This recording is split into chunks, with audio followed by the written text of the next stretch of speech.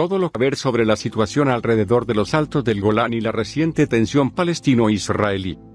La ONU, dos miembros de la OTAN y varias naciones de Oriente Medio han condenado el reconocimiento estadounidense de la soberanía israelí sobre esa región, ocupada por el país hebreo desde hace más de medio siglo. La tensión en Oriente Medio se ha ido acumulando desde la semana pasada, cuando el presidente de Estados Unidos Donald Trump anticipó el reconocimiento formal de la soberanía de Israel sobre los altos de Golán. Reaccionando a esa declaración, el presidente de Turquía, Recep Tayyip Erdogan, aseguró el viernes que esa decisión llevará a la región al borde de una nueva crisis, ya que los países musulmanes jamás permitirán que sea legitimada la ocupación israelí que obligó a los habitantes turcos y árabes a emigrar de ese territorio en 1967. Este lunes se reportó la explosión de dos proyectiles lanzados desde la franja de Gaza hacia una casa residencial de Mimeret Mimeret, un pueblo al norte de Tel Aviv, Israel, a causa de la que resultaron heridas al menos siete personas. Seguidamente, el primer ministro Benjamin Netanyahu que se encontraba de visita en Washington, anunció su regreso a Israel tras una reunión con Trump.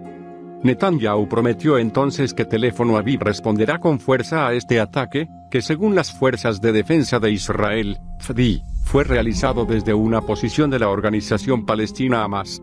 Se reportó luego un aumento del número de baterías del sistema de defensa aérea cúpula de hierro en territorio israelí por parte de las FDI, que a su vez comenzaron a movilizar a miles de soldados de reserva y anunciaron el despliegue de tropas adicionales en la frontera con Gaza. El ataque con cohetes de hoy de Hamas demuestra que no es un socio para la paz.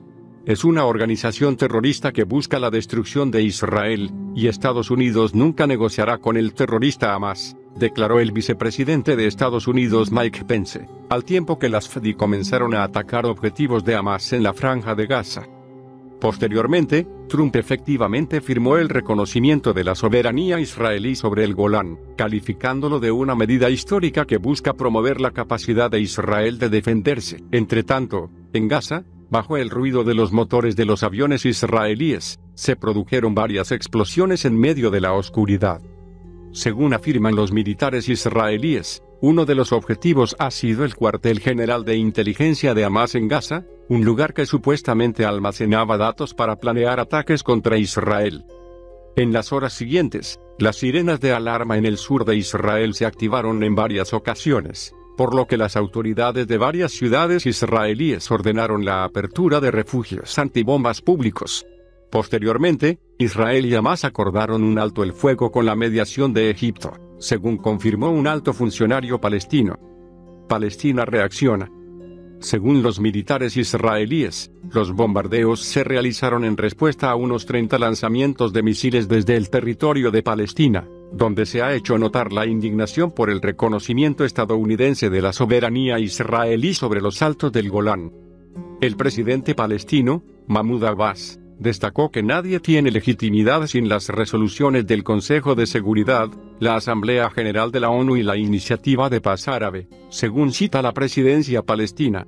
Por su parte, Ismail Anilla, el dirigente de Hamas en Gaza, cuya oficina fue destruida este lunes en un ataque aéreo de las FDI, aseveró que los altos del Golán son un territorio sirio y el decreto de Estados Unidos no puede abolir los derechos de los sirios sobre el Golán.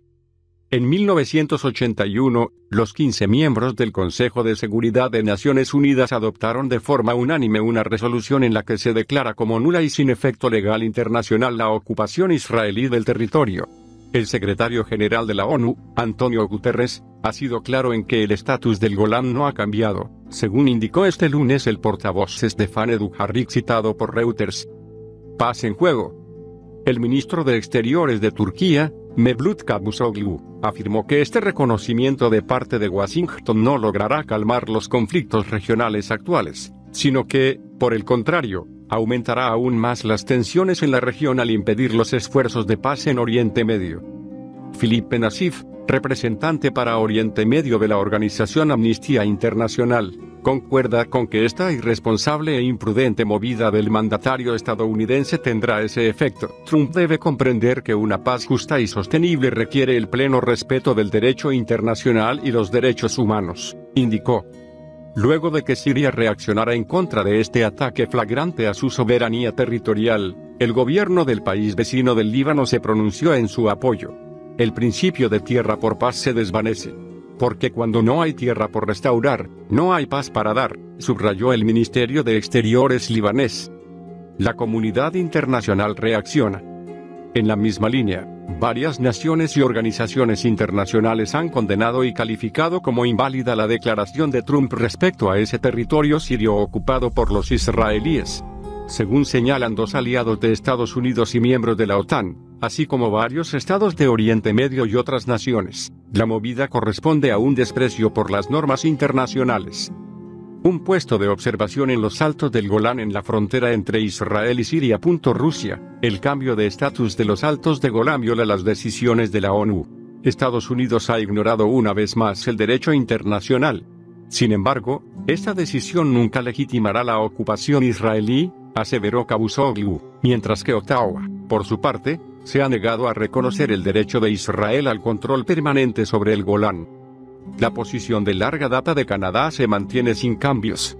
La anexión de un territorio por la fuerza está prohibida por el derecho internacional, indicó el Ministerio de Exteriores canadiense. Otro aliado de Estados Unidos, Arabia Saudita, se pronunció categóricamente en contra. En palabras del presidente del Parlamento árabe y miembro de la Asamblea Consultiva Saudita, Misa al-Bin Fam al-Salami, el reconocimiento fue realizado en flagrante violación de las resoluciones respectivas de la ONU. Adicionalmente, la Liga Árabe, a través de su secretario general Ahmed Aboulgate, condenó esta decisión y afirmó que el reconocimiento no cambia el estatus de los Altos del Golán, calificados por el Ministerio de Exteriores de Qatar como un territorio árabe bajo ocupación. Los Altos del Golán. El territorio en disputa entre Tel Aviv y Damasco es una región montañosa de 1.800 kilómetros cuadrados situada en el sudoeste de Siria y norte de Israel. Su mayor parte se encuentra a una altura de más de 1.000 metros sobre el nivel del mar y es una zona estratégica que cuenta con un yacimiento de petróleo con un potencial volumen de más de un millón de barriles y, sobre todo, representa una importante fuente de agua para Israel. Se estima que las reservas de agua dulce de los altos del Golán, cuyos numerosos riachuelos y ríos confluyen con el Jordán y el lago Tiberíades, constituyen un tercio del abastecimiento de agua de Israel. La región también dispone de tierras fértiles aptas para la agricultura, en las que se pueden cultivar uvas, manzanas, bayas y otros cultivos.